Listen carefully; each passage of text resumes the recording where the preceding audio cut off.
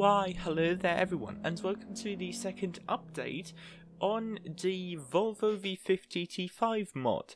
In the background here you can see the nearly done base T5 model doing a lap of Spa, um, which is one of my favourite circuits and uh, with the Volvo I managed a time of 3 minutes 8 seconds um, and a little stuff in the back as well.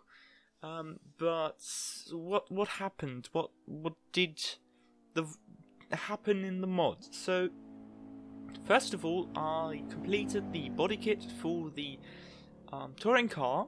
Second of all, I adjusted the size of all the cars, except for the XC, which is still oversized.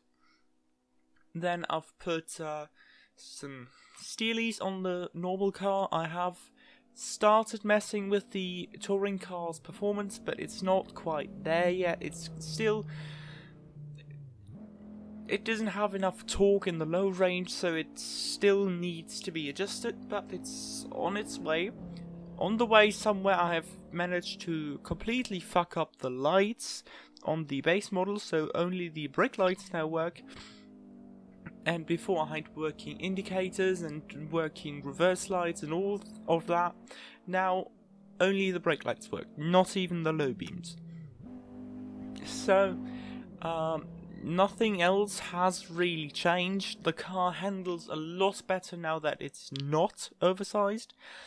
Um, I have also adjusted the wheel and tire sizes in the data files, which makes it handle more like it would actually drive on the wheels that are on the car right now.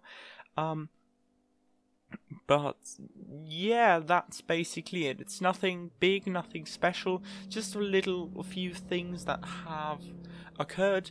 All of this is stuff that uh, I've managed to do between job and um, fixing my actual car and stuff like this. Uh, a lot of stuff has happened, and I will make a video on all of that in some time in the near future, just to get you all back up to date. But as of right now, you get the Volvo go doing its hot lap right here, and uh, yeah, that's the little update you get on the Volvo. Sorry, it's not more, but it is what it is. Um, stay safe, everyone out there. Have a nice day, and goodbye.